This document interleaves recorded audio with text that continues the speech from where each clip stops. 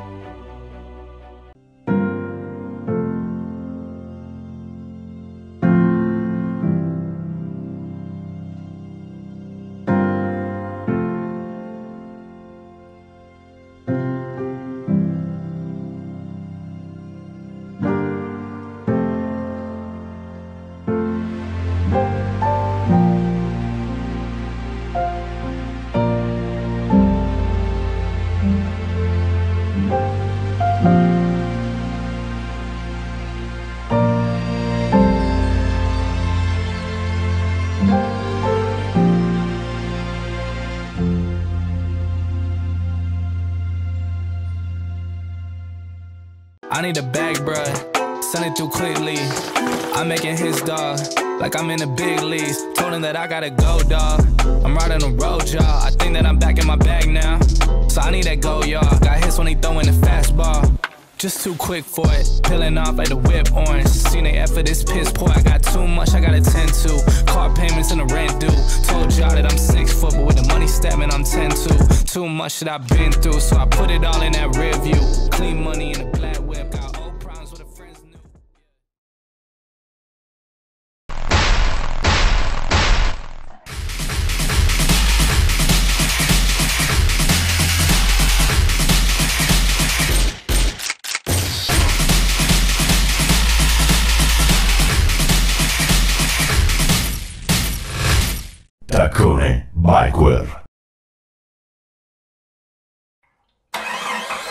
Da oggi Casa della Batteria la trovi in oltre 20 punti vendita in centro Italia con personale specializzato. Quando incontri il marchio Casa della Batteria, fermati con fiducia. Troverai una gamma completa di batterie per qualsiasi esigenza, nei settori auto e moto, industriali e agricolo, automazione, emergenza e sicurezza, tempo libero.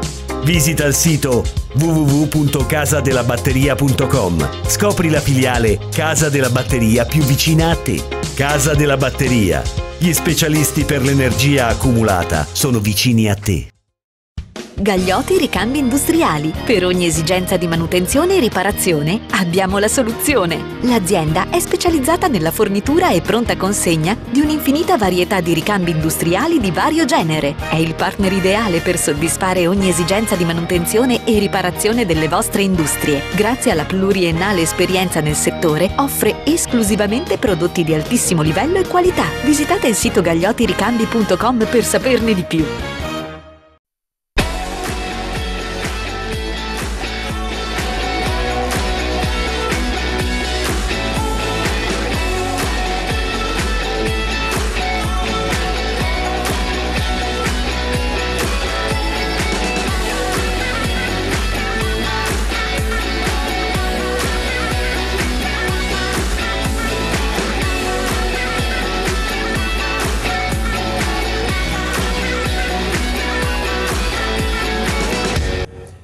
Insieme, pronti a partire per questo terzo appuntamento della stagione con eh, Velò, la rubrica di TV6 dedicata al mondo del ciclismo. Come detto, sabato c'è stato eh, l'evento clou fino a questo momento della stagione, la Milano-Sanremo, l'ha vinta Mattei Moric con eh, un attacco in, in discesa, do, sulla discesa del, del, Poggio che ha preso un po' tutti in, in contropiede. Ovviamente sarà l'argomento con cui inizieremo questa, questa puntata, ma eh, ne, parlando, ne stavate parlando anche durante la pubblicità, oggi c'è stato l'arrivo in salita alla tappa regina del Catalogna con la vittoria di Joao Almeida e il nostro Giulio che ha pagato un, un po' dazio. Eh, oh, mh, parto con te Luciano e parto con una provocazione e prendila come provocazione. Ma si vince adesso in discesa la Sanremo? Cioè adesso non è adesso. diventata... No, non adesso, dico, sono due anni che diciamo che Stoiven l'anno scorso e Moric quest'anno individuano dopo il poggio il momento opportuno dove si può fare la differenza. Ma eh, ricordo pure che Merckx diceva sempre che la, la Sanremo si, si, poteva e si doveva anche vincere in discesa, a prescindere Merckx lo vinceva eh, staccando tutti anche in pianura prima eh, del poggio, comunque è, è storia del passato. E si vince, si vince, ho visto una Sanremo non indimenticabile se devo essere sincero perché sì ci sono stati momenti emozionanti di alta tensione come vediamo in questo caso con Moric in discesa però obiettivamente è, è stata una, una, Sanremo abbastanza eh, lineare se la vogliamo definire così con un, la classica fuga che ci si aspettava con una cipressa che secondo me anche sulla cipressa non è che siano andati fortissimi perché eh, tra l'altro eh, c'erano due fu fuggitivi eh, Samuele Rivi e Alessandro Tonelli che erano in fuga la cipressa presa tutta dal gruppo hanno recuperato 40 secondi, quindi anche sulla cipressa non c'è stato quel, quel, quel grande eh, agonismo che ci si aspettava anche se devo dire che poi in fondo alla cipressa erano rimasti 25 corridori, quindi eh, c'è stata una corsa dove eh, più che esaltarsi dagli attacchi si è visto che i corridori si staccavano. Poi c'è stato sto poggio, sto poggio che è stato aggredito secondo me da Pocacar anche se obiettivamente con 4-5 attacchi eh, probabilmente anche fuori luogo. Io ho sentito molto la telecronaca di Riccardo che diceva qui eh, alla Sanremo hai la possibilità di sparare un colpo, massimo ne puoi sparare due. Pogacar ha attaccato 4-5 volte, quindi eh, probabilmente ha attaccato anche nei momenti eh, inadatti di questo splendido percorso. Poi, eh, c'è stata questa bellissima discesa di Moric. Ehm, questa è stata una Sanremo che mi ha ricordato molto la Sanremo del 84 quando vinse Moser, Fran eh, eh, Palmiro tu te lo ricordi benissimo, eravamo rimasti 40-50 corridori e Moser dopo due curve fece eh, questa discesa veramente formidabile. Eh, probabilmente aiutato pure eh, da Chinetti che eh, volle, non volle rischiare più di tanto e, e Francesco poi prese quei eh, 100-150 metri in fondo al poggio e riuscì a trionfare in, in, que, in quella Sanremo. Quest'anno Moric secondo me ha fatto la stessa cosa, l'ha aggredita la, la, il Poggio, eh, è stato fortunato che aveva sulla ruota quando ha attaccato c'aveva Pogacar che anche lui in quel momento non ha voluto esagerare a andargli a ruota, ha preso appunto eh, quei pochissimi secondi e mm. poi chiudere è stato molto complicato perché erano rimasti 25 corridori e, e, e lì ci voleva, ci voleva, appunto Riccardo quei corridori che si diceva nelle trasmissioni precedenti quei corridori di seconda fascia no? eh, corridori che erano capaci eh, di, di, di, di, stare vicino ai propri capitani e chiudere come eh, era stato fatto nel passato nelle vittorie vittorie, io mi ricordo nelle vittorie di Cipollini, di Petacchi, eh, questi avevano corridori eh, come mh, mm, Scirea, Trenti, Lombardi, Sacchi, ma li aveva in fondo al poggio, ciò significa che erano sì i corridori di seconda eh, fascia, però sopra il poggio eh, erano corridori che hanno scollinato il poggio in tredicesima, quattordicesima posizione per poi fare quel tipo di lavoro. Eh, invece quest'anno Moric ha fatto veramente eh, un bell'attacco e sono felicissimo eh, perché, perché, va a premiare anche una tattica della Bahrain che alla vigilia l'ha dovuta anche stravolgere perché l'assenza di Colbrelli probabilmente eh, ha fatto sì che la tattica di questa squadra eh, si rivoluzionasse tutta, quindi hanno puntato molto su questo uomo, hanno avuto in Caruso perché poi eh, io Riccardo vedo molto le tue telecronache in diretta, eh, però a volte si è impegnati col lavoro, si è un po' distratti, però la sera eh, quando rivedo le repliche de, de, delle vostre corse e soprattutto avendo anche il risultato sotto gli occhi, tu vedi come si sono mossi eh, questi corridori. Il Poggio, ehm, Moric l'ha fatto in sesta, settima posizione, ottava posizione, a fianco con Caruso che l'ha coperto veramente in modo incomiabile, quindi quando tu la rivedi la corsa e sai il risultato vai ad apprezzare anche i movimenti dei, dei, dei corridori.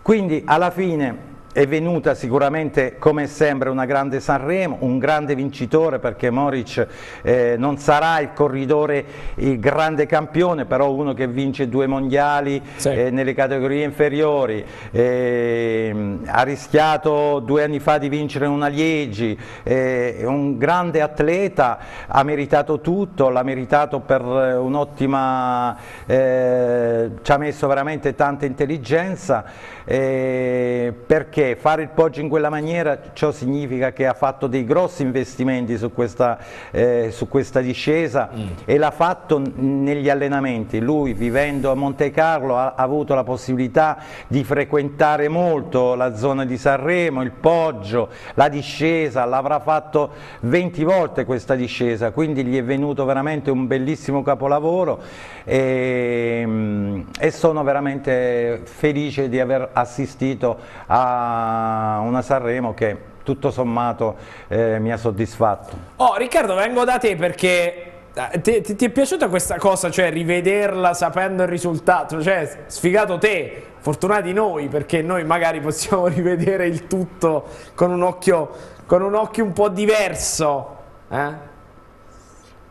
Ma io, eh, sai, la Sanremo l'ho vissuta in diretta per 7 ore e 40 e devo dire dal lato, eh, dal lato spettacolare è stata spettacolare. Io non sono tanto d'accordo sull'analisi che ha fatto Luciano sul discorso della cipressa che sono andati piano, perché se vai piano, se vai piano 25 non rimani.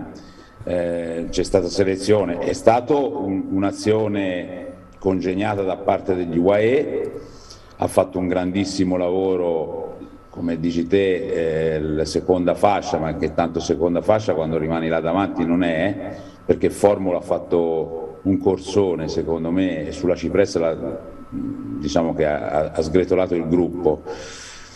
Poi, eh, mentre sono d'accordo con te sul discorso del, del colpo solo, cioè qui eh, sulla cipressa si vede, cioè rimangono eh, spiazzati anche tanti corridori. È vero che Tonelli e Rivi hanno tenuto, ma Tonelli e Rivi hanno avuto una grande fortuna a quella Saremo lì perché avevano il vento a favore. Mm, e, e, quindi eh, se non ci fosse stato questo allungo di formula che vediamo prontamente eh, registrato da eh, Maurizio e lo ringrazio, eh, insomma non lo so se poi dopo eh, fossero poi, sai, con i se e con i ma non si fa la storia, però eh, la, eh, i due davanti hanno presi sul poggio. Eh, se non facevano quell'azione sulla cipressa non lo so e qui vediamo Pogacar che ha fatto degli errori hai giustamente sottolineato tecnicamente ha sbagliato c'è poco da fare il direttore eh,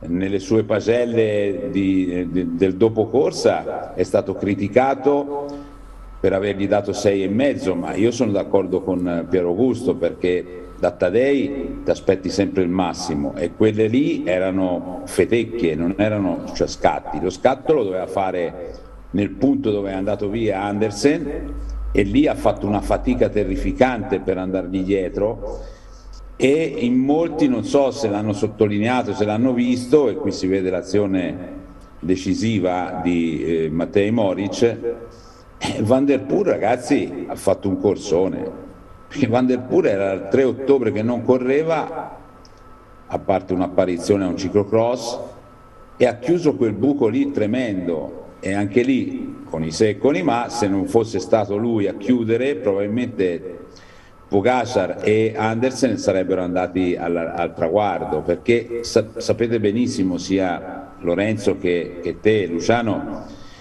di Sanremo ne abbiamo fatte diverse e sono attimi e quando si dice un colpo solo, in generale il colpo solo vale sempre per le grandi classiche perché non è che, che, che c'è tante energie.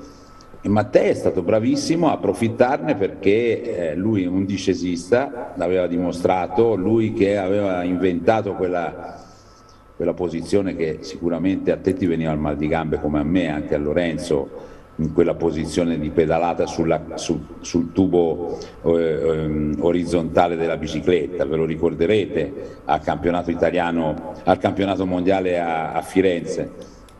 Si è inventato una discesa neanche troppo forte, perché la discesa poi Quella che l'ha fatta più forte è stato Chiattoschi, per esempio, però ha vinto una grande corsa. A me a Sanremo sinceramente è piaciuta molto per la spettacolarità che ha dato Pogacar nello sbagliare, perché quegli scatti lì ragazzi ne ha fatti uno, due, tre, poi dopo andava dietro a tutti, è stato bellissimo. Televisivamente secondo me è stata una bellissima Sanremo, poi dietro sono arrivati otto corridori, cioè eh, Van Aert che era quello più atteso ha fatto ultimo del gruppetto, eh, Van, Van, der Poel ha fatto primo della volata perché Turgi era andato, si era avvantaggiato nel finale e quindi per me è stata una, una bella Sanremo, ecco, tutto, tutto questo... Certo. Non sono d'accordo solo su quel fatto della cipressa che sono stati allora ti, ti, ti svelo no, il retroscena perché, perché no, ti svelo il retroscena perché quando sei arrivato hai detto ma secondo me sulla cipressa sono andati piano. Io ho pensato già mi sono proiettato alla diretta e sapevo che ci sarebbe stato prima o poi questo, questo, scontro perché rapidamente poi vado dal direttore perché secondo te sono andati piano? perché secondo me sono andati, son, sono andati veloci però non sono andati fortissimi perché su Rivi e Tonelli che hanno io, io ti parlo perché lei, sì, ma è ho vero, rivisto la corsa la sera e, e, e, sono andato a cronometrare quando avessero recuperato il ma gruppo non è che, no, scusami ma non ti è venuto il dubbio che Rivi e Tonelli siano andati forte? Sì, eh, Riccardo, ma stiamo parlando di Rivi e Tonelli, per carità di Dio, non voglio mettere... Eh, no, no. A me mi è sembrato che non fossero andati forte, poi si sono staccati i corridori e, e probabilmente... Vabbè, qualcuno è andato piano, Lucia, eh, qualcuno... Vabbè. Ma che, che siano stati i fuggitivi, i fuggitivi da dietro... Riccardo, Riccardo, scusami un attimo, il, il gruppo... Eh, di, il gruppo principale hanno recuper recuperato sulla cipressa 40 secondi sui fuggitivi su 5 km quindi secondo me, secondo me non sono andati fortissimi poi se tu dici che sono andati forti no, saranno andati forti i no, fuggitivi no, ma dopo 270 km i fuggitivi Luciano, non potevano andare di più di quelli che sono andati Luciano scusami perché cioè, queste discussioni con Luciano ne abbiamo fatte un miliardo sì, sì. insieme, sì. no? perché cioè lui è capatosta, no? Cioè, no, è, è, come quando dici, beh vabbè la salita però non è poi così dura, no, dai. Esatto, è come quella là, no, ma è, cioè, io Luciano li voglio bene, lo sa, eh, e quindi di queste discussioni abbiamo fatte miliardi, perché comunque lui ha le sue idee giustamente, io ho le mie, ma non è che possiamo fare una trasmissione che te dici ah bene sì, anch'io sono d'accordo, no, io non sono d'accordo per nulla perché qualcuno è andato piano, quelli che si sono staccati sulla cipressa dal gruppo saranno andati piano, io credo che Tonelli e Rivi siano andati fortissimo, ma perché c'era la componente vento favorevole, dietro non potevano scattare a quella velocità lì, che scattavano, cioè c'era ancora da fare diversi chilometri, se si parte dal presupposto che un colpo solo va sparato, sulla cipressa non doveva sparare nessuno. E ha fatto grande, una, un grande lavoro, secondo me, eh, Formolo Formula sarà andato piano, che ti devo dire? Se, se vabbè. Mettere... vabbè, va, devi andare dal direttore con cui posso almeno condividere, direttore, il fatto che essendo noi tra tre ex professionisti, il fatto che a noi ci dicano che siano andati piano forte, boh, per noi sono andati forte sempre. Comunque, tornando al one shot mancato di Tadej Pogacar, è un errore quello lì, oppure la volontà di sorprendere, oppure forse un po' di sicurezza? Cos'è? Allora, eh, andiamo, per, andiamo per gradi. Intanto partiamo da, sono andati forte, sono andati piano, io sono d'accordo in questo caso con Riccardo, c'è una media comunque che è 45 e 500 e qualcosa. La media record di Gianni Bugno, non ancora battuta, è 45 800. c'era il vento a favore, ma è stata una Sanremo velocissima. Quindi mi insegnate, voi che siete stati professionisti, non certo, me, non certo io che lo sognavo e tale è rimasto il sogno, quando hai il vento a favore si va forte, ma è anche difficile poi andarsi a riprendere, perché vanno forte tutti. La cipressa secondo me l'hanno fatta forte, eh, Formolo concordo che ha fatto un grandissimo lavoro e ha veramente ha acceso la corsa e da quel momento in poi non si può dire che la Sanremo di quest'anno sia stata una Sanremo che è durata 20 minuti, l'adrenalina del poggio no, è cominciato un po' prima, grazie a Formula, alla UAE perché la cipressa è stata fatta in un certo modo. Poi il discorso di Tadej Pogacar, eh, io mi sono espresso, sono stato, come ha ricordato Riccardo, non bastonato duramente, però giustamente è il bello delle pagelle, ognuno ha la, ha la sua opinione, ognuno vede la sua corsa, ognuno ha la sua sensibilità. Il giudizio è stato lusinghiero, perché io comunque lo ringrazio Tadej Pogacar, perché in ogni caso, come ha detto giustamente Riccardo, eh, nei suoi errori ha reso la corsa bellissima, perché comunque ha fatto 5 attacchi, troppi, probabilmente se non 4, 3 di troppo, e, ehm, però ci ha deliziato. Ci hanno deliziato Tadei, ci ha deliziato Moric, ci ha deliziato il buon eh, Matteo Van Der Poel, ci ha deluso Primo Zarovic che ha fatto veramente lo scattino del morto e che eh, non ha agevolato Volte Van Aert, anzi l'ha messo ulteriormente in difficoltà e poi alla fine è stato quello che ha, ha deluso più di tutti perché era uno dei grandi favoriti. E, è il capolavoro, devo dire, del... voi avete ricordato tutti, mi sbaglierò io, però avete ricordato Eddie Merz, avete ricordato Stuyven l'anno scorso, avete ricordato Francesco Moser, ragazzi, ma Moric, ah, non è che bisogna andare dietro tanti, Vincenzo Nibali ha vinto quasi alla stessa maniera, con il gruppo che l'ha braccato praticamente quasi sul traguardo e arriva che ha veramente una fotografia che sembra un arrivo di gruppo, in realtà non è di gruppo, ma è una solo, un colpo di genio impegno da parte di Vincenzo. A me se dovete dire cosa ti ha ricordato il colpo di Matteo Morici, io dico Vincenzo con una differenza che quella di Moric è stata una Sanremo velocissima e quella di Vincenzo Nibali è stata invece una Sanremo lenta, tant'è vero che lui vince, lui dice ma come ha fatto Vincenzo a vincere? È una delle Sanremo più lente perché c'era il vento esattamente contrario, cioè, è durata, andate a vedere, 7 ore e 20, 20 minuti. 7 ore e 20 minuti. E, e, ed è riuscito a fare quello che ha fatto Vincenzo eh, eh, dopo oltre 7 ore di corsa, dove vengono fuori appunto i corridori con delle caratteristiche particolari che sono quelle appunto di resistenza. In questo caso, dopo 300 km a 45 all'ora e quindi una gara comunque di poco superiore alle 6 ore, è venuto fuori comunque con resistenza e velocità. Eh, se mi è piaciuta, mi è piaciuta molto. Poi io metto, confermo che Tadej Pogacar ha perso forse una grande occasione che era quello di così, ragionare un po' di più, però si è lasciato andare all'istinto che è il bello perché se noi andiamo ad analizzare tutto, io dico sempre, nella storia del ciclismo, la Cuneo Pinerola è una delle, delle, delle, azioni più folli del ciclismo, che poi diventa l'impresa, ma le imprese generalmente vanno contro i, i canoni del direttore sportivo, del manuale del direttore sportivo. Riccardo l'ha fatto il direttore sportivo, Luciano sa perfettamente cosa vuol dire stare in ammiraglia. Coppi inventò quella cosa lì.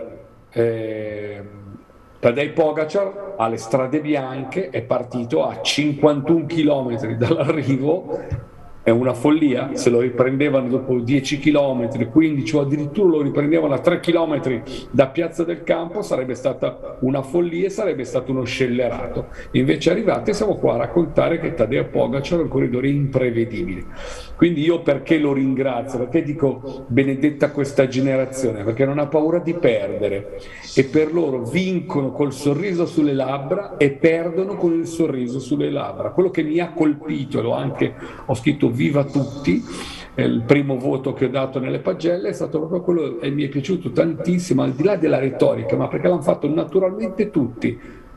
Da, da Dave Pogacar a Matteo Van Der Poel, Vote Van Aert hanno tagliato il traguardo, non, non, hanno neanche preso la salvetta, sono andati a complementare, a complementare tutti con Matteo Moric perché ha fatto un piccolo grande capolavoro e sembrava quasi un incontro tra amici che hanno fatto un bel allenamento. A tutta velocità, chi arriva prima al cartello ha vinto, ha vinto Moric e tutti ad applaudire Moric, è lo spirito bellissimo, uno spirito eccezionale, quindi viva tutti, viva il ciclismo, queste cose c'è l'altro che il secondo tempo del rugby.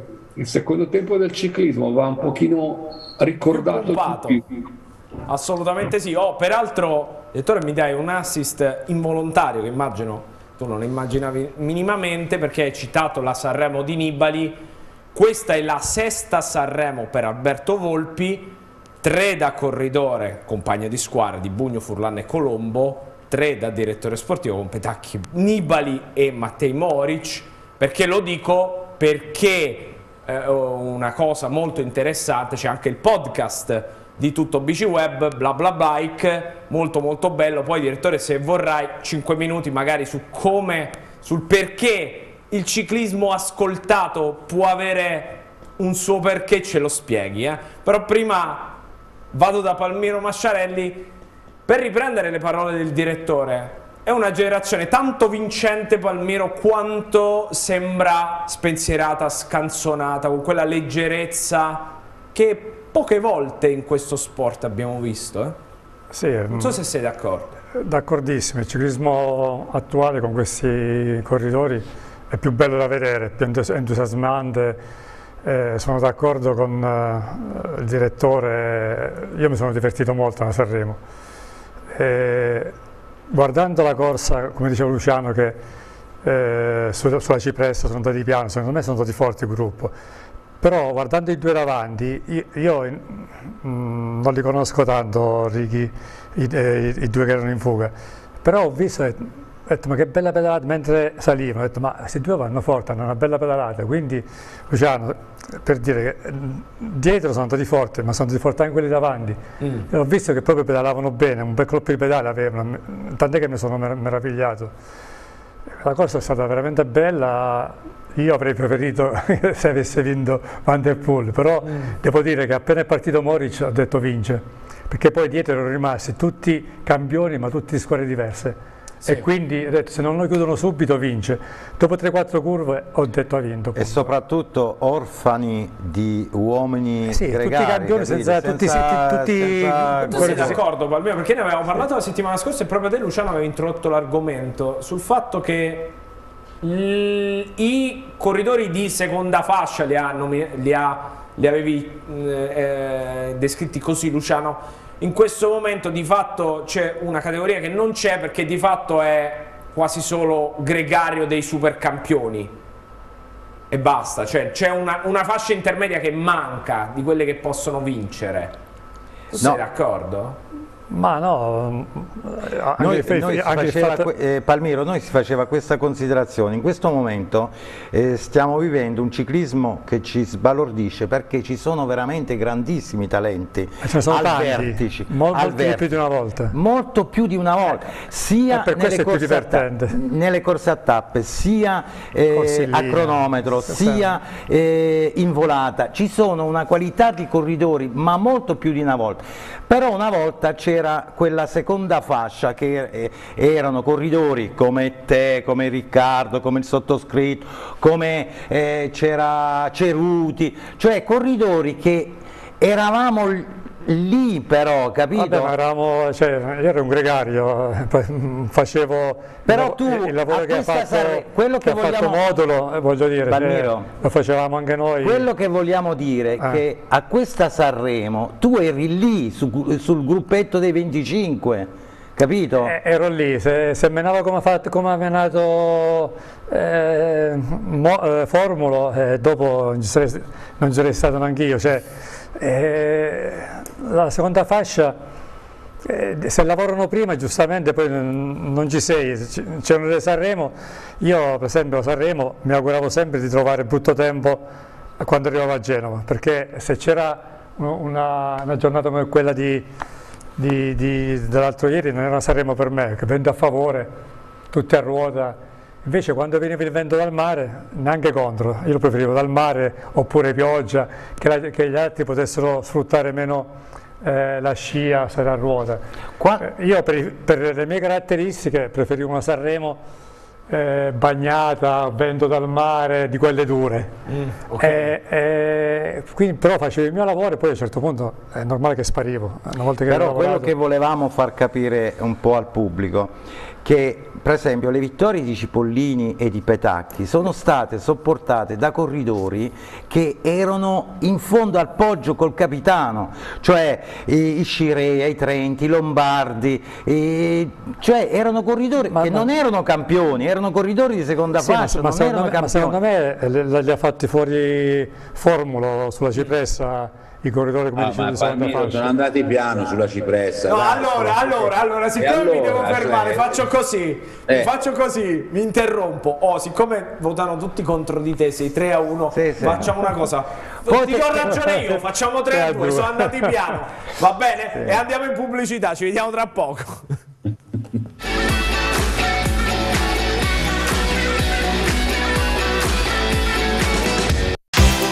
25 anni di attività agonistica, 30 anni di attività commerciale per continuare a darvi Rabottini Cicli Sport, bici da corsa, mountain bike, gravel e tutta la linea e-bike. Rivenditore ufficiale Scott, Bergamont e BH. Abbigliamento tecnico, scarpe, occhiali, ciclocomputer, cardiofrequenzimetri delle migliori marche e assistenza meccanica qualificata. Se vivi di passione, se pedalare è ciò che ami, allora ti aspettiamo a Marina di Città Sant'Angelo, Viale Matrino 31. Resta aggiornato su tutte le novità e seguici sui nostri canali social Facebook e Instagram.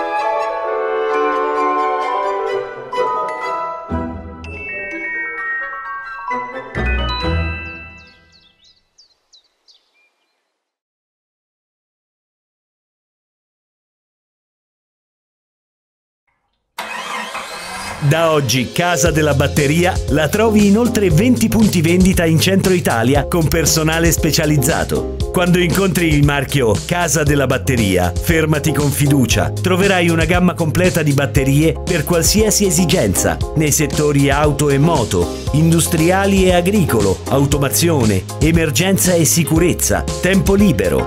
Visita il sito www.casadelabatteria.com. Scopri la filiale Casa della Batteria più vicina a te. Casa della Batteria. Gli specialisti per l'energia accumulata sono vicini a te. Clindex è una realtà italiana che progetta e realizza attrezzature professionali per levigare e lucidare pavimenti. La bontà dei suoi prodotti l'ha resa famosa in tutto il mondo le levigatrici Clindex sono adatte a levigare marmo, granito, gress, parquet e qualsiasi superficie grazie agli speciali utensili anch'essi realizzati da Clindex. Il Super Concrete, ovvero un sistema di lucidatura a specchio del cemento che ha creato una nuova concezione di pavimento industriale. Clindex è anche formazione, merito di corsi gratuiti aperti a tutti. Clindex è a Manoppello, via Vallone 16.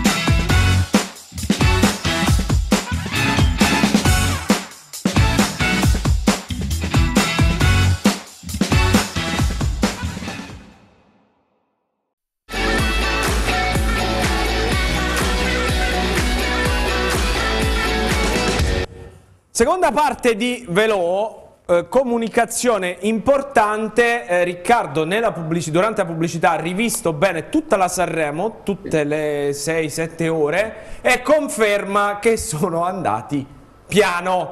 Sì, perché sì. adesso l'hai rivista bene, giusto? Lo confermo, guarda, ti dirò, la cipressa hanno recuperato solo 40 secondi, al mio cronometro 42. Ma che velocità l'hai visto, scusa Riccardo? L'ho vista sve- svelta e, e- effettivamente zan zan zan zan zan, ho visto proprio però ho, fatto, ho lasciato la cipressa l'ho cronometrata e hanno però non sono d'accordo su Luciano che dice 40 secondi no 42 gliel'hanno recuperati quindi Ok. sono andati pianissimo E, e da sotto la cipressa al poggio con i due corridori che erano in fuga e avevano 17 secondi due fuggitivi, a un chilometro dell'imbocco del poggio avevano 17 secondi, Riccardo. Quindi con un meraviglioso... eh, ha tirato... Aiutami, chi ha tirato sotto- eh, prima del poggio? La UAE... Cos'è? To- Torelli Torelli Torelli Vabbè, Comunque, c'era 17 Torelli secondi. e Ma- Torelli e Masciarelli erano loro che tiravano Sì, va bene. e a ruota 17 secondi ha tirato solo eh, l'ex campione d'Italia, come si chiama? Tonelli Formulo. Formulo. ah Formulo ah sì ha tirato oh, solo Formulo con 25 corridori a ruota, Formulo che è andato fortissimo, non ha recuperato niente sui per fuggitivi. forza era da solo e davanti erano in due col vento a favore Sì, tiravano Ho capito, va bene.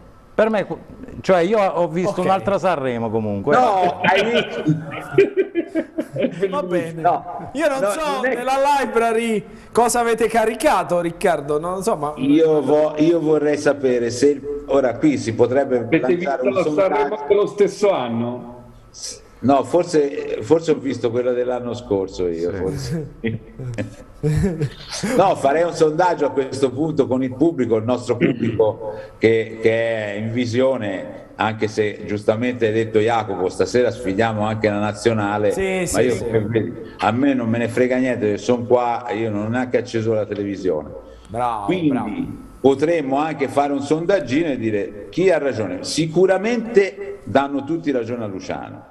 Quindi, quindi è una corsa persa. per No, no, me. vabbè, ma, eh, io, io- io per evidenti questioni sia di prossimità geografica e anche... E anche perché se no ti licenzia, quindi Esatto, e io, per me sono andati pianissimo, cioè io l'ho vista proprio al contrario, andavano indietro da, da Sanremo verso, tornavano indietro verso Milano. Oh, eh, vi, faccio vedere, vi faccio vedere una cosa, perché poi eh, entriamo in un'altra questione. Eh, ora voi vi dico canotto telescopico e tutti dite vabbè sì sappiamo che cos'è. Quando io ho saputo eh ma potrebbe aver avuto un aiuto dal canotto telescopico voi mettetevi anche nei panni di chi pensa che Moric a un certo punto stia per tirare fuori due remi però prima di, eh, del canotto telescopico ci vediamo una moviola perché Riccardo una volta ti sei spaventato una volta ti sei un po' stizzito per quando hai visto Sagan che mandava all'aria il tuo pronostico diciamocela tutta.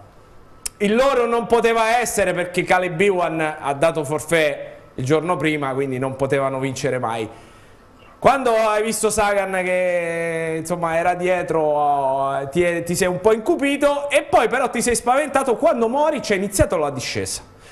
E vediamo un attimo perché e proviamo a far capire, cioè Moric in questo momento l'abbiamo proprio, eh, ecco, l'abbiamo isolato, poi abbiamo fatto proprio, proprio una moviola perché ecco qua, fa anche un numero pazzesco che non so quanto sia razionale e quanto follia istintiva ad un certo punto, perché lui in questo momento quando la bici parte sulla sinistra è a testa in giù e quando la riprende la bicicletta è, sta andando contro il muro.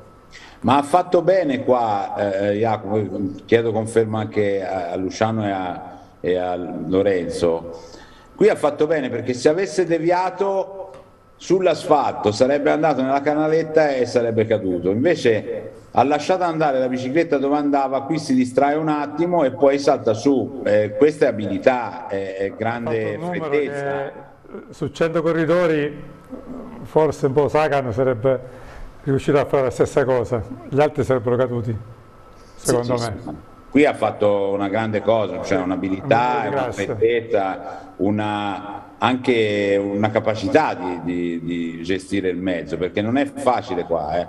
Quindi lui lascia andare la bicicletta nella canaletta e poi la tira su eh, senza, senza, problemi. La curva che ha sbagliato dopo, perché quella l'ha sbagliata, l'aveva affrontata quasi in fondo al poggio, non so se Maurizio quell'immagine ce l'ha. Eh, no, abbiamo il quasi salto di catena. Sì. Ecco, su, siamo... questa cosa, su, questa cosa, voglio fare una domanda, visto che eh, sia Luciano che Palmiro di meccanica e di eh, questi nuovi eh, gruppi elettronici, voglio fare una domanda. Troppo spesso ho visto che ci sono questi salti di catena.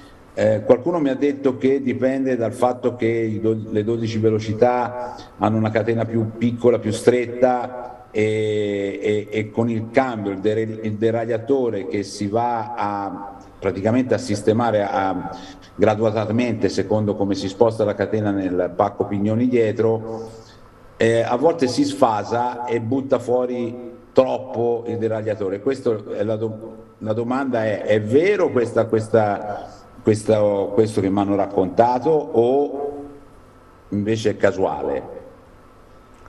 A, a, sia... a, Luciano, a, Luciano, e a Lorenzo naturalmente. Penso che sia casuale perché mm, cioè, mm, anche prima succedeva, succede che ogni tanto c'è un salto di catena.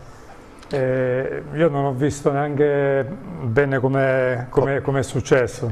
Posso, se. Po posso aggiungere io? Che ha cambiato, boh, però... Comunque io posso aggiungere che eh, nei cambi meccanici eh, se c'è un errore di regolazione meccanica tu devi farlo meccanicamente, ma questi cambi elettronici sono, eh, il meccanico non deve intervenire sul cambio o sul deragliatore, intervengono direttamente dalle manopole eh, della centralina, quindi è la centralina che automaticamente fa la registrazione e quindi eh, secondo me non sbaglia mai la centralina, quindi in questo o i meccanici probabilmente non sanno regolare bene eh, le centraline. Vabbè ma ha fatto tutta la gara, è successo in curva a quella velocità. Se, Poi eh, può succedere di tutto. di pedalare come è ripartita la pedalata in curva, la catena magari una, un salto di Uh, con, un salto con, di catena. Eh, non, non so una, una buca no, una, buca l'asfalto un po' ondulato salta la catena e ci sta una cosa del genere. In curva poi è successo. Perché oggi Riccardo le regolazioni del cambio una volta si chiamava l'ammiraglia arrivava il meccanico il giravite ti regolava. Invece adesso il corridore eh, lo può fare lui direttamente dalla bicicletta senza l'intervento del, eh, dell'ammiraglia perché eh, se sanno utilizzare eh, le manopole e i pulsanti che sono eh, sul terminale eh, della curva manubrio sulla leva, automaticamente queste regolazioni oggi possono direttamente farlo eh, il corridore stesso e, e, e, la regolazione è perfetta perché eh, la centralina è, è, un meccanismo talmente perfetto che non sbaglia mai la regolazione. Mm. Oh, ehm, intanto ci stanno scrivendo, allora prima ci hanno scritto dove saranno protagonisti gli italiani alle prossime classiche, poi lo chiediamo a Riccardo. Eh, Nicola ci ha scritto, beh se Formula è il migliore degli italiani, insomma tutto qua. Poi sul sondaggio che ha proposto Riccardo hanno scritto che te vinci comodamente Luciano, sul fatto che siano andati forte o piano, hanno detto vinci del sicuro se chiedono al pubblico a casa. Questa è un'altra domanda, buonasera a tutti, Moric ha usato, come ha detto lui, all'arrivo ha usato la sella dropper, di solito usata nelle mountain bike, può essere stato utile alla vittoria di Moric, grazie Alessandro, poi vedremo anche un video che ci ha preparato il nostro Moreno di Labio su questo, e il, il messaggio perfetto della serata, l'abbiamo letto prima, siccome si arrivava a Sanremo, siccome il festival è terminato da poco, sono andati pianoforte quindi okay. così mettiamo d'accordo mettiamo d'accordo un po' tutti quanti oh, eh, peraltro direttore una vittoria questa della Bahrain Victorious in, eh, con Moric che fa particolarmente piacere perché innanzitutto conferma che praticamente la Slovenia è una specie di Belgio-Olanda 4.0 cioè è una specie di resto del mondo eh, sai quando si fa eh, Italia contro il resto del mondo, tutti i più forti vanno lì, adesso sembrano tutti nati in Slovenia, ma soprattutto perché sulle nostre strade Moric, vediamo le immagini del giro dell'anno scorso, rischiò tantissimo. E quando io ho visto quel numero che ha fatto prima ho detto no, non ci credo, ancora Moric. Eh, questo è un ragazzo che lo ricordiamo è stato campione del mondo, juniores, under 23, quindi quando si parla di Moric è diciamo uno che a, a, livello di sopra gli manca davvero poco, correggimi se sbaglio, per stare al piano di sopra, dove sono quelli dell'Olimpo, o sbaglio? No, beh, Moric è alle stime del campione, non lo è ancora diventato, eh, si sta avviando, il tassello Sanremo è un mattone importante, intanto si porta a casa un monumento che, che, è lì, che risplende insieme a altre cose. Lui quando è passato professionista mh, mm, colpì mh, mm, tutti, da Ivan Basso al dottor Roberto Corsetti, era la Liquigas, giovanissimo, imparò l'italiano in 20 giorni sa parlare perfettamente cinque o sei lingue, ragazzo di un'intelligenza e di una vivacità eccezionale e il motore lo vediamo. Probabilmente questa sua vivacità, questa sua spregiudicatezza, noi diciamo è stato bravo, è stato cattivo, diciamo che lui osa e forza, è arrivato al limite anche alla Sanremo, gli è andata bene, perché il volo che fa il Giro d'Italia esattamente un anno fa è mm, da rimanere eh, senza fiato perché fa un errore clamoroso, forza anche in quell'occasione lì, fa un volo pazzesco che cara Grazia indossava il casco ed è andato in ogni caso bene perché nonostante il casco di ti potevi veramente spezzare l'osso del collo invece ha spezzato eh, la forcella anteriore della sua merida.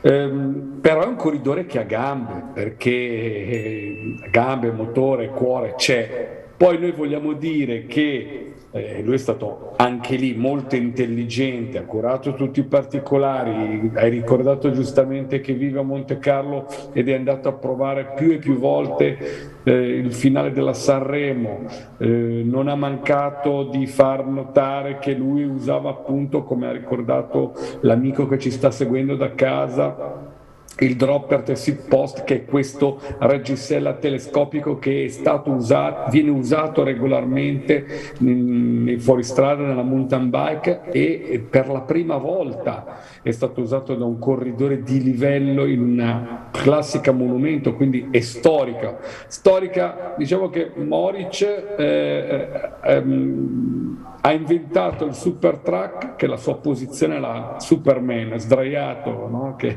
quello che diceva Riccardo ai mondiali di Firenze, che poi è stata bandita e vietata dall'UCI, e adesso ha, in, ha, ha introdotto nel mondo strada il dropper sit, sit post. Ehm, è un corridore che, che, che, ci sa fare, ci sa fare in bicicletta, giù dalla bicicletta. A questo punto cosa gli chiediamo? Continuità, perché ha tutto ha veramente tutto, ma deve, ecco lì, visto che prima ehm, si parlava, Luciano parlava di centralina no, da regolare, anche lui va, deve regolare la centralina e lì la chiave. Perché eh, se lui regola la, la, la, centralina e riesce a trovare equilibrio e, continu- e continuità, eh beh, la Slovenia si ritrova non di tanto in tanto un Moric che ti fa il numero, perché ricordiamo ha vinto una tappa al Giro, una tappa alla Vuelta, due tappe al Tour, più un paio di mondiali, più ha rischiato di vincere la Liegi, però può diventare veramente un corridore eh, che ti trovi, che lo trovi costantemente negli ordini d'arrivo di tutte le grandi classiche, perché lui può potenzialmente correrle tutte. Eh? Può veramente certo. correre tutte, perché ha le doti naturali per poter primeggiare anche volendo in una parigi perché ha la guidabilità del mezzo, ha il fisico per una gara anche come quella, ha il fisico per, una, per eh, lottare per vincere un Fiandre. Forse eh, un Lombardia, un po' duro, però un uomo che riesce ad arrivare alla Liegi gli manca poco, eh? quindi diciamo che è un corridore completo. La Slovenia non è messa male. No, diciamo che c'è, eh, c'è chi è messo molto molto peggio, Luciano. Sì, al direttore, direttore eh, eh analizzavo pure quando sono stati eh, fortunati poi quelli della Bahrain a non avere alla partenza un Colbrelli. Perché questo? Perché questo avrebbe condizionato molto la, la, la, la gara sia di Moric che complessivamente di tutta la squadra, perché avere Colbrelli alla partenza ciò significava eh, correre in una maniera diversa probabilmente, no? perché l'interesse di portare Colbrelli in volata eh, era, eh, sarebbe stato maggiore che eh, proporre in attacco Moric.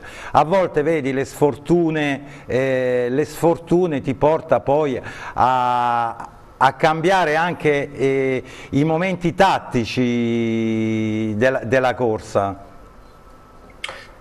Guarda, non abbiamo diciamo, la controprova. Io credo che però eh, avrebbero corso allo stesso modo. Moric non avrebbe cambiato il modo di corsa. Il, il Bahrain eh,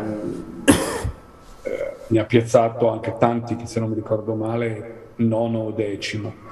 Eh, Colbrelli avrebbe fatto una, eh, un poggio come l'ha fatto Giacomo Nizzolo, che è passato per decimo al Gran Premio. E quindi ah, il suo obiettivo sarebbe stato quello di rimanere lì attaccato al treno dei migliori. Moric avrebbe tentato in discesa in ogni caso. Se fosse andato male, certo c'era l'alternativa a Sonny Colbrelli, che era un po', credo, quello che avevano in testa i Jumbo, Roglic, perché noi pensiamo, Roglic ha tentato l'attacco per Wout van Aert, secondo me Roglic ha tentato l'attacco per Roglic, ha provato per portare via un gruppettino, per portare via Tadej Pogacar e vedere Wout van Aert avrebbe risposto di conseguenza. Il problema è che e Roglic non ha, ha, fatto solletico perché non ha neanche non ha superato un atleta che è uno, certo. è rimbalzato, è tornato indietro lui da solo chiedendo scusa e, e quindi poi Vout Van Aert si è trovato da solo a sbrigare la questione. Quindi diciamo che il Colbrelli Morice, secondo io la vedo come eh, era una cartuccia in più per il Bahrain che comunque ha corso molto molto bene. Poi il nostro Sonny, il nostro Sonny... Ne parleremo direttore più tardi. Sta passando un momento un pochino più difficile. Assolutamente. Oh, ehm, visto che abbiamo introdotto la, il, la questione canotto telescopico, eh, prima ci vediamo la bici in 200 secondi di, di Moreno di Labio Palmiro, così io almeno, voi lo sapete, io capisco meglio che cos'è e poi ne parliamo. La bici in 200 secondi. you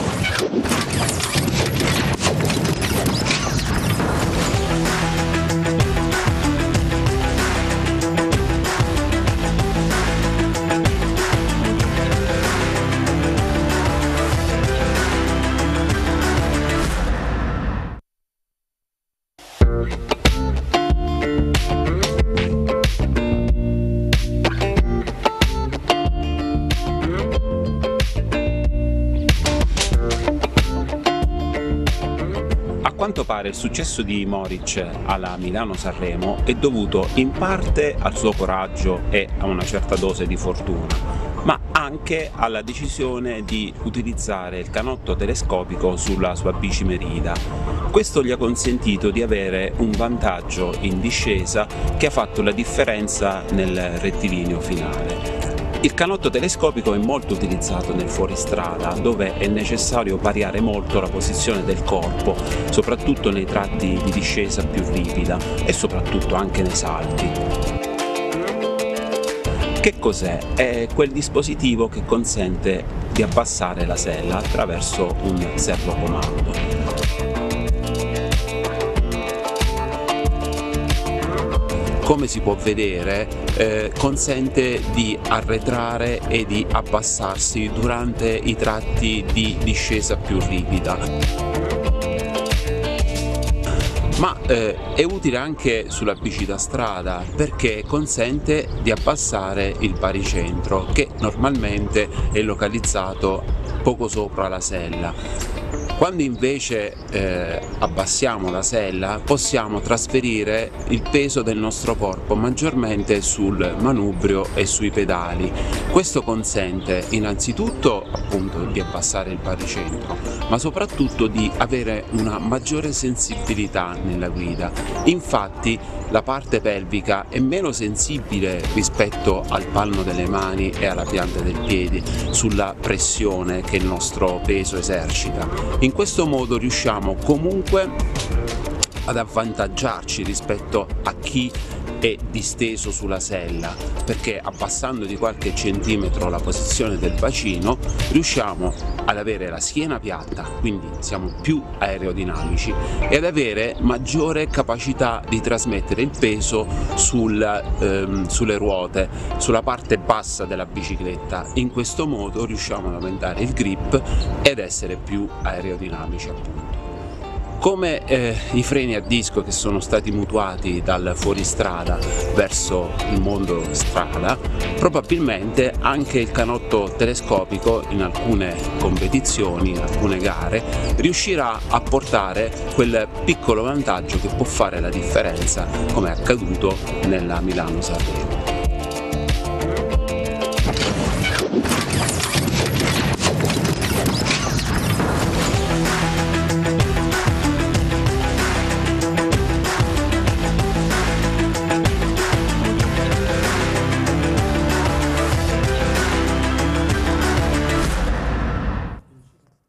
Insomma, Palmiro, abbiamo cercato di, io soprattutto, di capirne un po' di più. Ha ragione Moreno quando dice dopo il freno a disco, adesso il canotto telescopico, è chiaro che ci vuole anche chi ci sa andare con la bicicletta, a me neanche se mi dai un canotto lanciato proprio sull'acqua vado da nessuna parte. a me è successo 5-6 anni fa, a una Gran Fondo, mi si è rotto il collarino della sella si è abbassa tutta la sella, eravamo sul ceppo, si scendeva giù al passo delle capannelle devo dire che, che la, la, bicicletta, ma era proprio una questione di, di guida, la bicicletta sembrava che diventasse una moto, riuscivo a piegarla molto di più, ho fatto le discese in maniera pazzesca, solo poi sono arrivato a, in fondo alla discesa eh, mi sono dovuto fermare perché non riuscivo eh, certo. a pedalare. Però da, da, da un, un, in discesa, in, in discesa la bicicletta si riesce a guidare molto meglio, mm. in curva.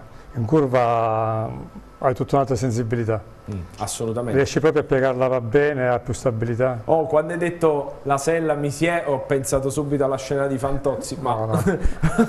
lì si tratta solo di... La sella è rimasta attaccata, si è abbassata e oh, basta. Oh, eh, facciamo una cosa, Maurizio, mandi quell'SMS perché lo voglio attraverso l'SMS arriviamo a un altro argomento, poi parliamo anche del Catalogna, eh, parliamo di Colbrelli e quant'altro. Ci chiedono, direttore, se tutto BCWeb va in edicola. oh. Ovviamente no. Eh, no. Andava in, allora andava in edicola tutto bici, ma tutto bici web no, perché è un sito, quindi non mm. va in edicola. Oh, però... Basta andare con, con un computer o un cellulare, fate tutto bcweb.it e lo trovate. Esatto. Esatto, però mi introduce ad un argomento, Luciano, che te volevi trattare perché ti sì. sei portato. No, va bene. A te non ti scappa niente, figurati se ti scappa i distacchi prima e sotto la no, cipressa no. e dopo il poggio.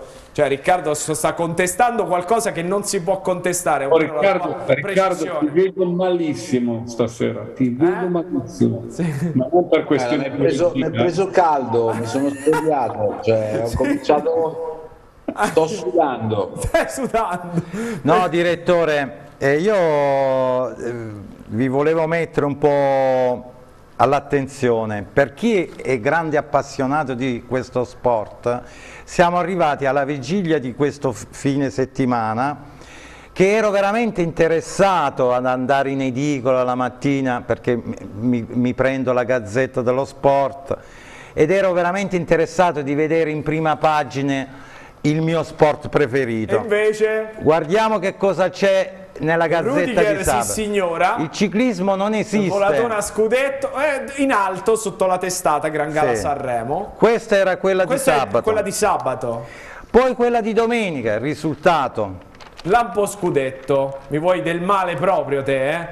Eh, fulmini mondiali, Jacobs è anche sui 60, ovviamente la Po- doppietta Ferrari. possibile, possibile che il nostro sport su un quotidiano che organizza il Giro d'Italia, organizza il Lombardia, organizza la Sanremo. La Sanremo. la Sanremo, no, non dia spazio al nostro sport di riferimento, direttore.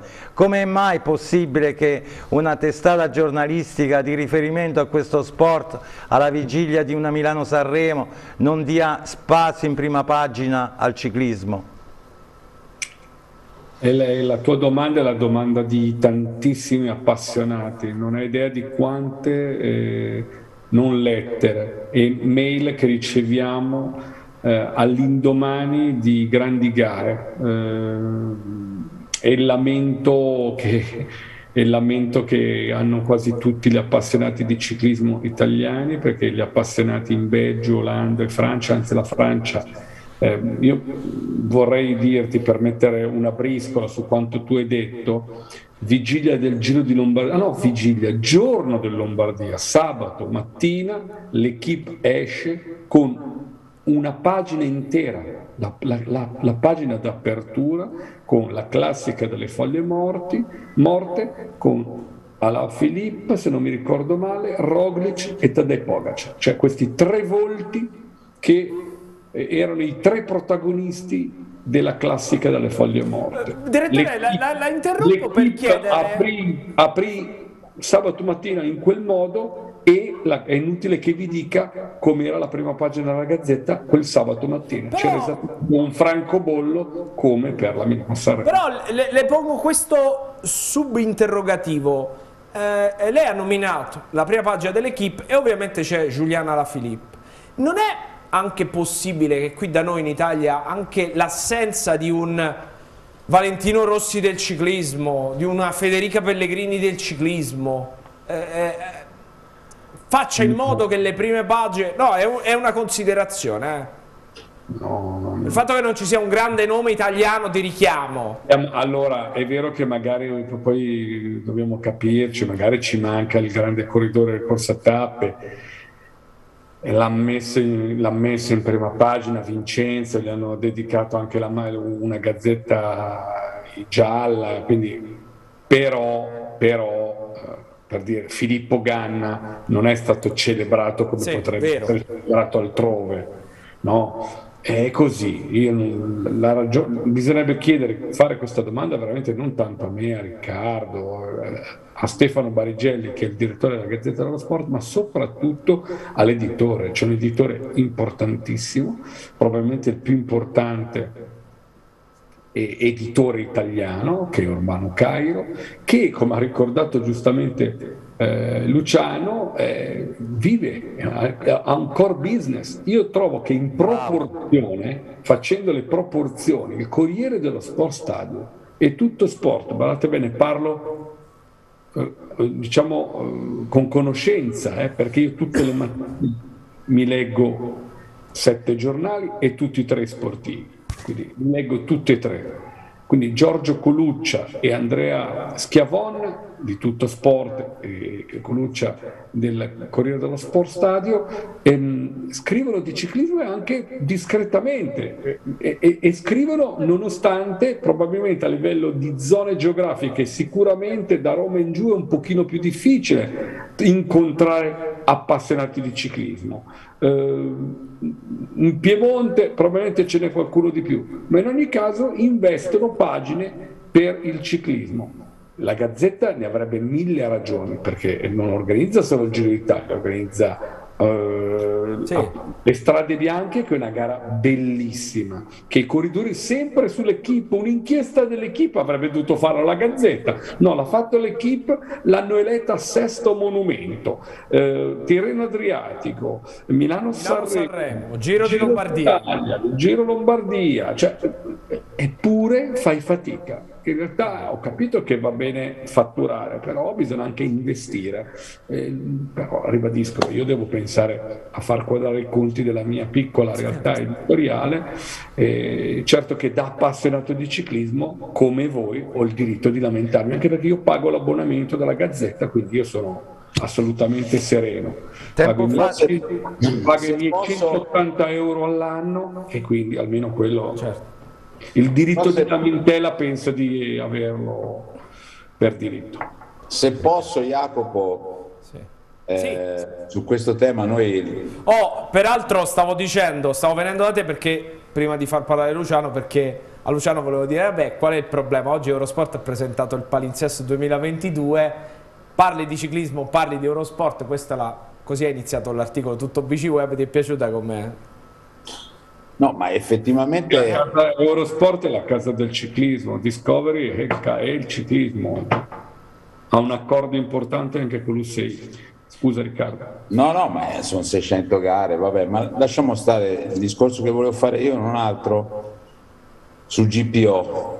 Io mi ricordo, GPO è Giampaolo Ormezzano, che è un editorialista anche di tutto BC Web. Dal primo numero. Dal primo numero, eh, Giampaolo Ormezzano lo conosciamo benissimo, sia Luciano che sì. eh, Palmiro, perché sono stati soggetti che sono stati intervistati anche da una delle ultime firme rimaste, perché una volta che ci ha lasciato Gianni Mura, Mario Fossati, insomma eh, che, ce lo, che, ce lo, che, Dio ce lo benedica ancora per, per, lungo tempo, perché non è rincoglionito fra le altre cose, no. cioè, voglio dire, avendo... Ha solo, ha solo un difetto, scusa Riccardo se mi permetto, solo un difetto che purtroppo tu non però le becco io. Io un tifoso granata, io essendo bianco e nero non ho idea del lunedì mattina quello che non mi dice.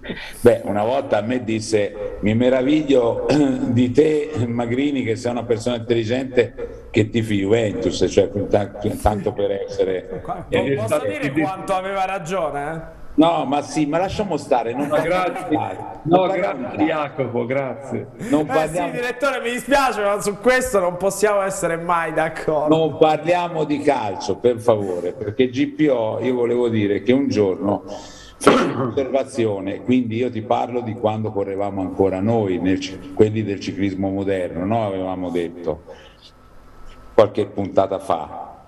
Lui disse, il ciclismo è nella condizione che per avere la notizia dovrebbe essere Maradona che investe un corridore e che eh, gli fa male e lo manda all'ospedale. A quel punto lì avrebbe sicuramente la prima pagina dei giornali. Questo avveniva tanti anni fa, più di 40 anni fa. Quindi il problema è un problema che va, eh, che va indietro ancora nel tempo. Certo è a conferma, l'altro giorno, prima pagina, succede quello che è successo al povero Sonny, prima pagina c'era un quadrato in centro pagina con la fotografia di Sonny Corbelli che si era sentito male, ma porca miseria. Poi, che non si era meritato a ottobre così ben messo bravo, per la Parigi. Certo, ma cioè, ti, ti, rendi conto a che livello siamo?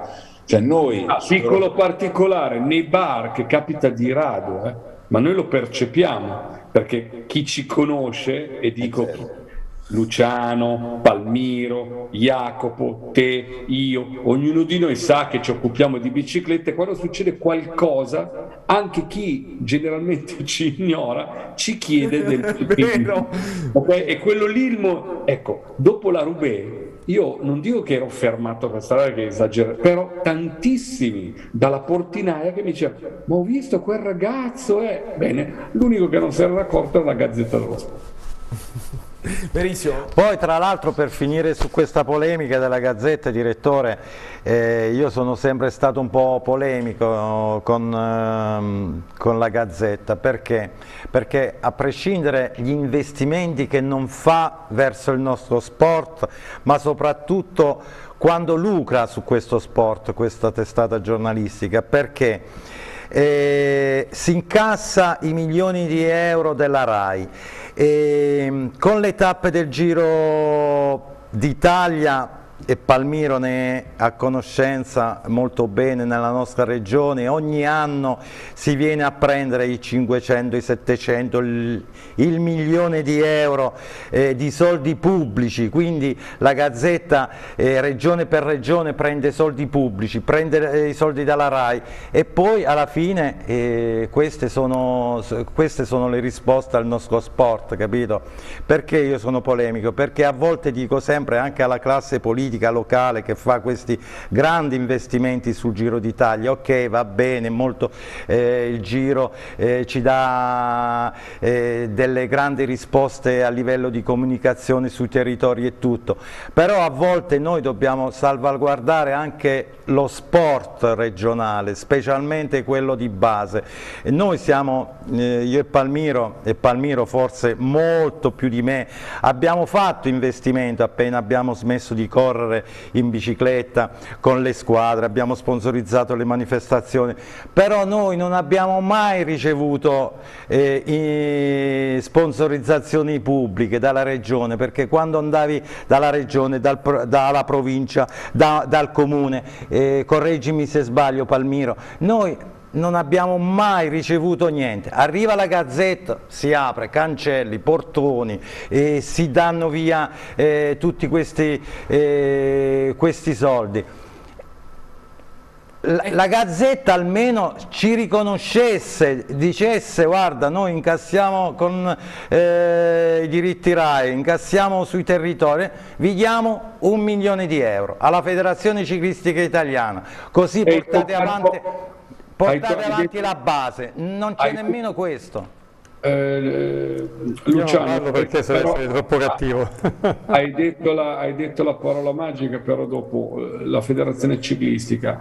Eh, è chiaro che i, eh, forse è anche naturale, la Gazzetta fa le sue cose, cerca di farle al meglio, eh, promuove se stessa, promuove comunque il ciclismo. Ehm, però ci dovrebbe essere una federazione che va e bussa e dice scusa, guarda che comunque le corse che tu organizzi è sotto l'egida della Federciclismo, guarda che comunque il calendario lo presentiamo noi, perché formalmente se la Federazione Ciclistica decidesse perché prende un perché Cordiano Dagnoni eh, di, di, di, volta il cervello, decide di non inserire la corsa nel calendario, è vero che viene fuori il pandemonio, però non, se, se, non la presenta l'UCI non viene approvata, tu la corsa non la organizzi.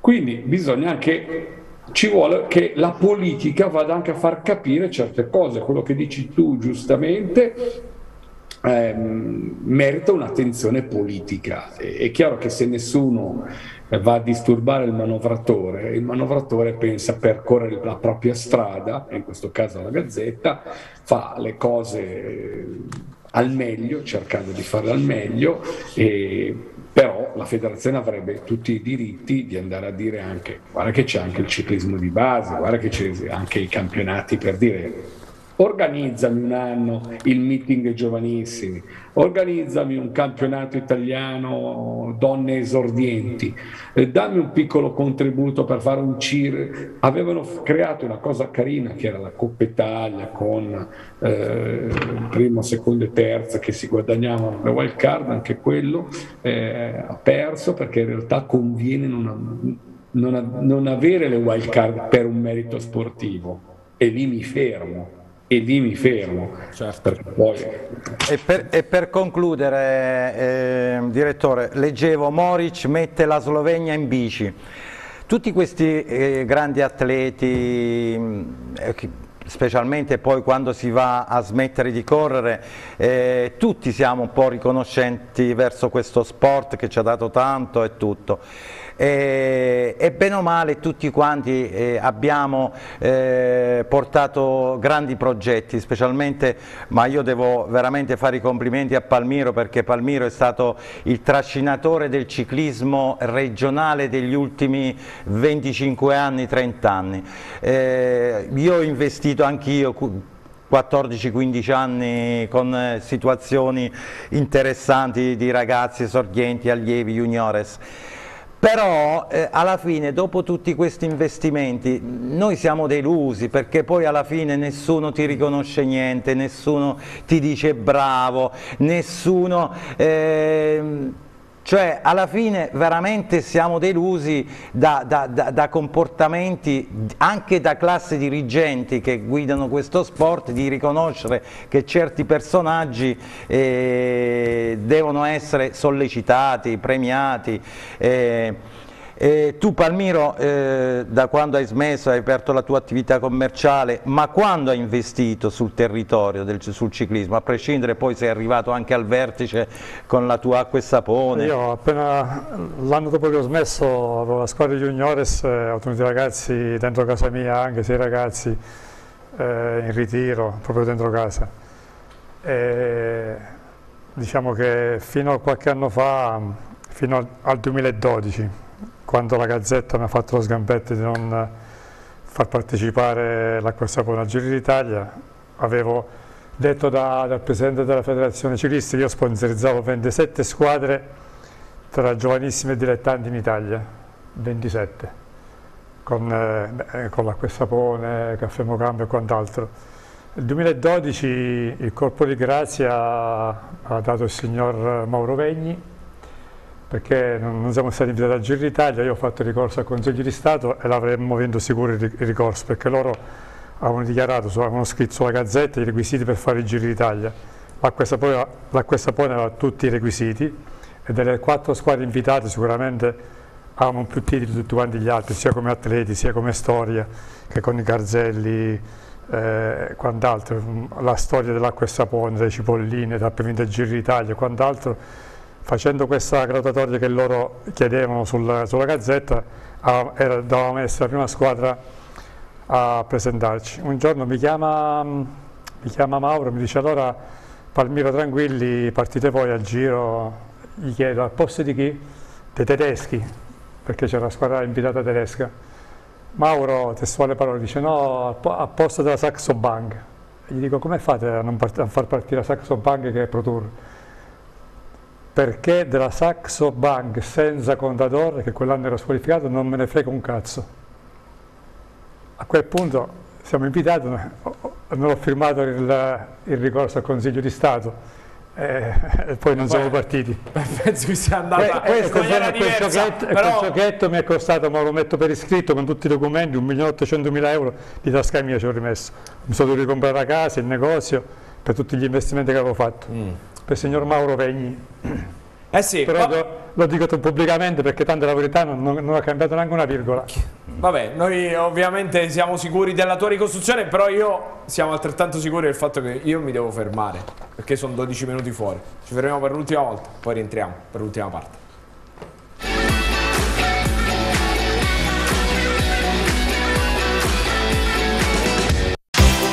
25 anni di attività agonistica, 30 anni di attività commerciale per continuare a darvi Rabottini Cicli Sport, bici da corsa, mountain bike, gravel e tutta la linea e-bike. Rivenditore ufficiale Scott, Bergamont e BH. Abbigliamento tecnico, scarpe, occhiali, ciclocomputer, cardiofrequenzimetri delle migliori marche e assistenza meccanica qualificata. Se vivi di passione, se pedalare è ciò che ami, allora ti aspettiamo a Marina di Città Sant'Angelo, Viale Matrino 31. Resta aggiornato su tutte le novità e seguici sui nostri canali social Facebook e Instagram.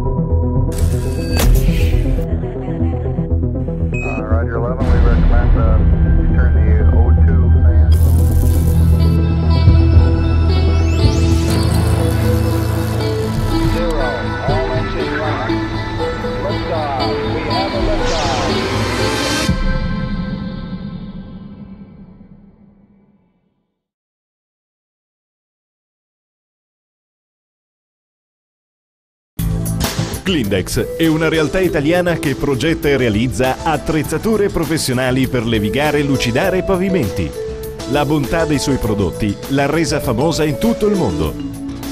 Le levigatrici Clindex sono adatte a levigare marmo, granito, gress, parquet e qualsiasi superficie grazie agli speciali utensili anch'essi realizzati da Clindex. Il Super Concrete, ovvero un sistema di lucidatura a specchio del cemento che ha creato una nuova concezione di pavimento industriale. Clindex è anche formazione, merito dei corsi gratuiti aperti a tutti. Clindex è a Manoppello, via Vallone 16. Gagliotti Ricambi Industriali. Per ogni esigenza di manutenzione e riparazione abbiamo la soluzione. L'azienda è specializzata nella fornitura e pronta consegna di un'infinita varietà di ricambi industriali di vario genere. È il partner ideale per soddisfare ogni esigenza di manutenzione e riparazione delle vostre industrie. Grazie alla pluriennale esperienza nel settore, offre esclusivamente prodotti di altissimo livello e qualità. Visitate il sito gagliottiricambi.com per saperne di più.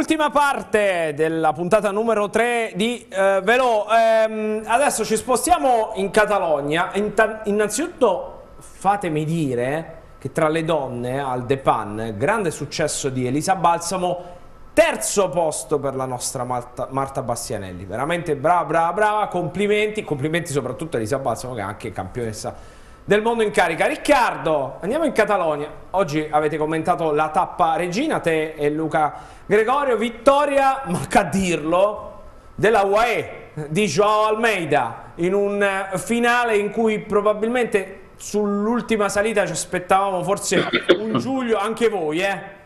Devo dire, vi ho seguito in telecronaca, ci aspettavamo un Giulio più vicino, più a ridosso dei primi, magari potesse andarsi a giocare la vittoria. Non è stato così, ha pagato parecchio. Eh, vittoria di Almeida eh, in un finale in cui eh, i, i, colombiani, come di consueto, se ne un po' danno di santa ragione, alla fine vince il portoghese, che, che proverbialmente non paga, però vince. Ma Almeida è andato molto forte oggi, io pensavo che facessero la corsa per eh, Ayuso, visto che Ayuso spagnolo, catalano, ieri era arrivato secondo battendo Nairo Quintana, su una salita meno impegnativa di quella di oggi, qua vediamo il gruppetto finale, eh, erano rimasti in, quarto, in quattro, molto bene anche Carapaz, Ighita e Nairo Quintana, due colombiani che si marcano stretti e poi Almeida dopo aver lavorato anche precedentemente eh, li, ha, li, ha, li, ha, sistemati per le feste in volata, è andato molto forte e sinceramente mi ha colpito anche, eh, non me l'aspettavo, ecco, da, da, da, da, Almeida non, non mi aspettavo una prestazione del genere perché è stata molto bella. Ora qui non si può dire, secondo me sono andati molto piano sulla salita. eh, eh, è stato... Lo volevo quasi dire, Lo Riccardo. volevo quasi dire. Oh, sono andati piano, piano. nonostante la salita fosse pedalabilissima. No, ma era una salita molto dura, però sono andati piano, tant'è che vedi i corridori che si staccano, ma lo facevano apposta. Lo facevano apposta. Vabbè, Almeida- sono- Riccardo, Almeida sarà l'uomo UAE al giro? Sì, sì, sì, sì. Sì, Al- eh, Almeida se va così al giro è uno dei pretendenti eh, fattibili perché comunque ha esperienza, è uno che ha già, si è già piazzato, però forte così, di solito in salita Luciano, questo ragazzo si vedeva eh, non in difficoltà, andava ma andava del suo passo, un regolarista, e quando scattavano gli altri poi lui gli ritornava sotto col suo passo. Oggi invece è stato brillante perché li ha messi tutti a soqquadro qui L'ha vediamo messi in fila. eh, l'ha messi tutti in fila e effettivamente hanno fatto un'andatura molto violenta. Prima è partito George Bennett che io pensavo anche lì prima c'era una situazione una fuga con Marc Soler davanti sempre UAE ipotizzando un qualche cosa qualche attacco nel finale e poi invece sono stati ripresi. Dopo è partito George Bennett altro corridore interessantissimo. La UAE sta in questo momento mi sembra sia a 21 vittorie quest'anno. Sì, 21. sta, sta percorrendo quella strada che voleva lo sceicco. Lo sceicco aveva detto ok va bene, mi sta bene questo giochino, però io voglio diventare la squadra più forte al mondo e ci sta riuscendo. Qua addirittura Nairo Quintana stringe un po' verso le transenne eh, Almeida, si arrivava sullo sterrato, eh, infatti c'è stato un bellissimo rallenti che ci faceva vedere anche lo, lo- lo scivolamento della ruota posteriore, bella volata a tre ma Almeida mi ha impressionato. Un altro che è andato forte è questo quarto qui, che è Pauls.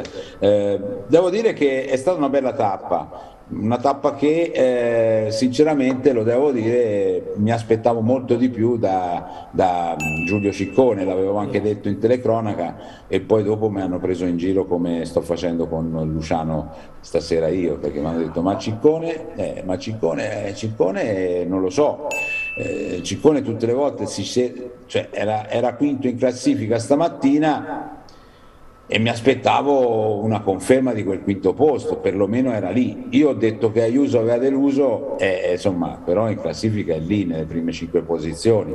Io a Ayuso ho detto mi ha deluso perché pensavo che fosse lui a attaccare, visto quello che aveva fatto ieri.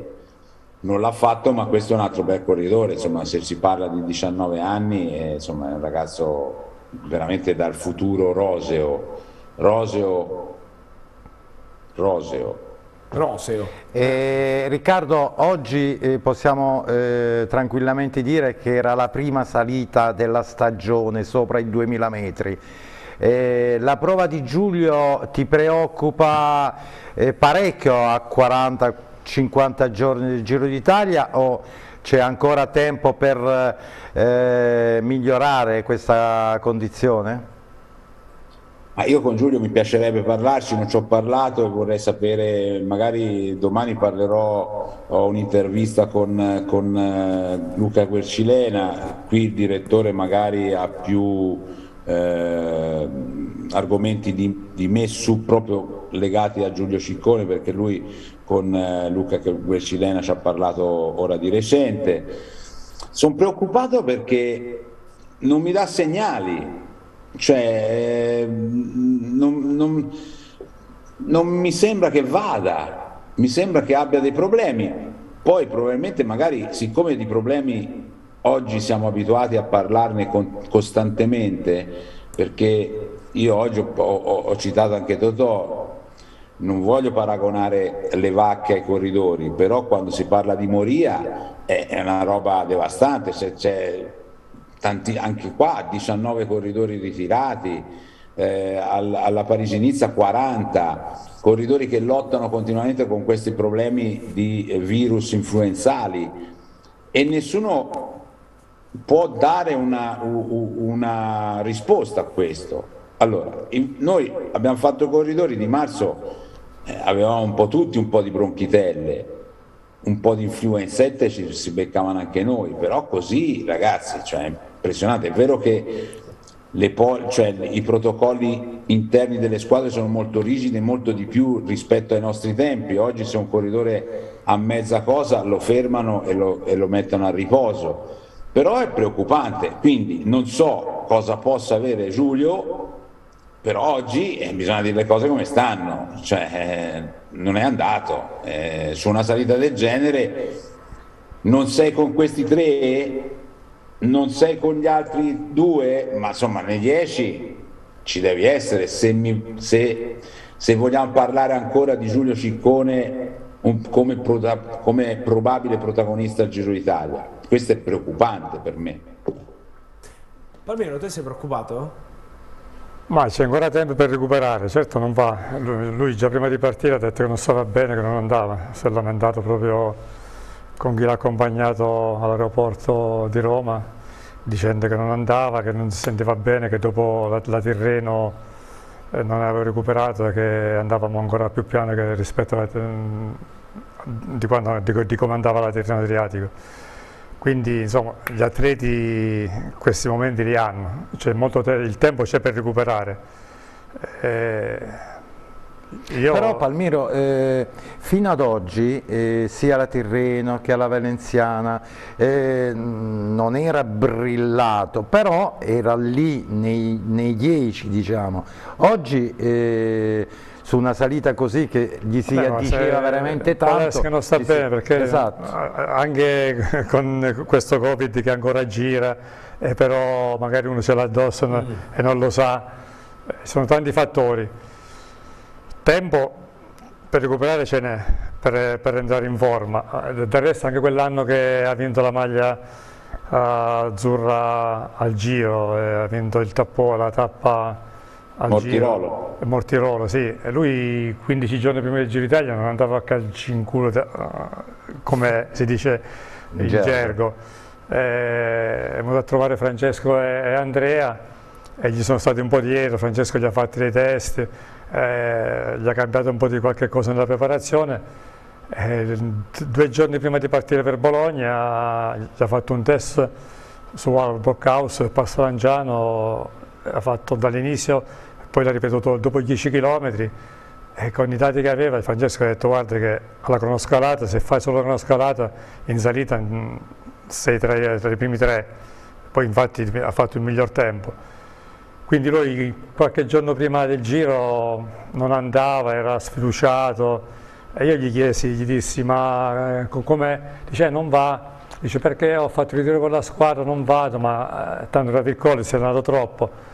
Lui mi disse no, veramente secondo me poco. Ho detto guarda, magari è la tua fortuna perché quell'anno le prime sette tappe erano piatte, ti ho detto magari trovi la condizione i primi sette giorni, poi gli ultimi dieci vai forte. E, e poi il caso, non lo so, è, è andato così.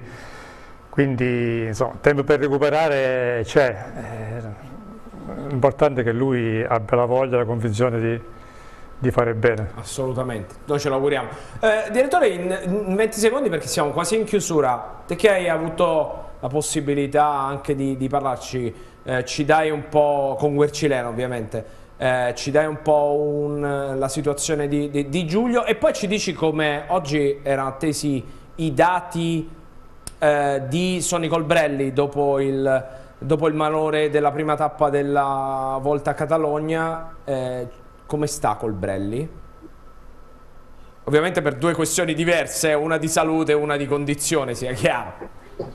Allora, sulla questione di Giulio, Luca mi è parso non preoccupato, ci siamo visti, siamo andati a mangiare un boccone assieme dopo la partenza della Milano-Torino eh, mercoledì scorso, e anzi era... Mm, la sua frase ha detto alla Tirreno è andato più forte di quanto noi pensassimo, perché quest'anno l'abbiamo fatto partire molto più lentamente. Quindi erano coscienti del fatto che Giulio non fosse già al top. E quindi bisogna, come dice Palmiro, bisogna non avere fretta, eh, farlo crescere gradualmente, c'è ancora tempo È certo che Giulio, un po' come Moric per modi diversi, anche lui della centralina non si deve intasare di troppe informazioni e di troppe tossine negative, perché temo che Giulio magari non è un motore super, ma un gran bel motore e lui spesso lo ingolfa con cattivi pensieri. Ecco. Quindi mi auguro fortemente eh, che come accade a moltissimi sportivi, deve avere, deve incontrare una giornata buona per poter acquistare sicurezza e quindi poi partire tra 50 giorni per il Giro d'Italia con quella mentalità giusta e con la preparazione necessaria per poter essere protagonista in una gara di tre settimane. E credo che Giulio eh, abbia tutte le caratteristiche f- per farlo e lasciatemi dire debba farlo perché quest'anno, ribadisco, noi parlavamo, verrà Almeida, dei primi 20 del ranking mondiale, al Giro d'Italia probabilmente verrà il numero 5 e probabilmente il numero 13. Il numero 5 è Joao Almeida, il numero 13 è Richard Carapaz, forse. Quindi mm, non è che abbiamo qua i migliori corridori del mondo, certo. bisogna, bisogna mettersi lì e lavorare bene. Sul fronte invece eh, Joseph Trueta, eh, ospedale Joseph Trueta di Girona. Eh, guarda, stamattina mi sono messaggiato proprio con sonno. Morale discreto, eh, se fosse per lui sarebbe già in bicicletta, è chiaro che non è un ragazzo stupido, tutt'altro, è un ragazzo intelligente e sensibile ed è chiaro che sta prendendo coscienza di una situazione molto delicata e complessa. Eh, è capitato in un ospedale molto molto eh, ben attrezzato, quello che ho capito io oggi ha, ha, ha svolto ulteriori accertamenti, ma è presto per dire l'esito perché si conoscerà tra qualche giorno, tra qualche giorno 10 15 giorni sapremo anche gli esami genetici come sono andati. E di sicuro ha, avuto, soff- ha sofferto di un'aritmia elettrica, bisogna capire come spiegava eh, il primario dell'ospedale di Girona, Ramon eh, Brugada, se è congenita, se è una questione ereditaria, se da eccesso di stress sportivo, sono tutte cose, valutazioni che vanno ancora eh, studiate. Ho parlato più volte eh, con il dottor Daniele Zaccaria, responsabile sanitario del team Bahrain, il quale mi ha detto che un passaggio importante, oggi, massimo domani, dovrebbero arrivare anche la scatola nera del def- defibrillatore. Il defibrillatore sembra che sia stato usato da questo angelo custode come Riccardo ne ha uno, eh, anche Sonny adesso ne ha un altro, il suo nome è Boria Saez De Cos, che è quello che gli ha salvato eh, sostanzialmente la vita. Eh, ha usato il defibrillatore, però ehm, bisogna vedere se a tutti gli effetti l'ha usato, ci vuole la controprova. Certo. C'è una, una, scatola nera, eh, deve arrivare il tracciato e quindi il dottor Zaccaria mi ha detto, io fin quando non ho visto e ho studiato il tracciato del defibrillatore, eh, non posso non esprimermi. niente. Certo. certo, di fronte a un tracciato che ti dice c'è stato a tutti gli effetti un arresto cardiaco e il defibrillatore ha riportato in vita Sonny Colbrelli, diciamo che da quello che io ho percepito, da quel momento lì in poi la situazione si complica. Nel momento in cui ci sarà la controprova, cioè la prova del 9, non ci sono dubbi, il defibrillatore ha fatto il suo dovere, la situazione sportiva di Sonny Colbrelli diventa un pochino più complicata certo. perché siamo in Italia perché le leggi sull'idoneità sportiva sono un po', un po' come quello che è successo a Christian Eriksen agli europei. Esattamente così. Oh, io sono in chiusura, peraltro a proposito di... Eh, prima all'inizio della puntata abbiamo detto sfidiamo la nazionale. Chi ci ha visto, speriamo siate stati in tanti, ha fatto bene perché l'Italia è di nuovo fuori dai mondiali, ha perso 1-0 contro la Macedonia del nord, quindi Luciano domani non lo so, la prima pagina della Gazzetta ci hanno anche scritto quale sarà, temo di immaginare quale potrebbe essere l'apertura. Comunque è stata una bella serata, ho chiuso anche quasi in tempo. Grazie Luciano, a giovedì prossimo. Buonasera a tutti e buonasera al direttore di Tutto Bici Piero Augusto Staggi soprattutto. Grazie a te Luciano per l'invito, grazie a Palmiro che mi ha fatto piacere rincontrare dopo tanto tempo. Beh, l'amico Riccardo, vabbè, Riccardo Vabbè.